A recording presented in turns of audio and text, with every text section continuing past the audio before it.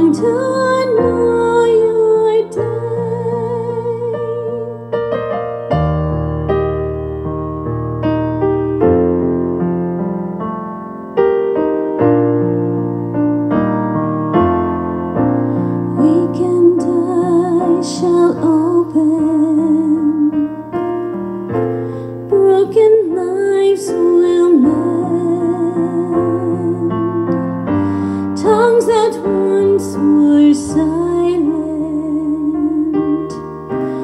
learn to speak again. Lamb and lion sleeping near the child.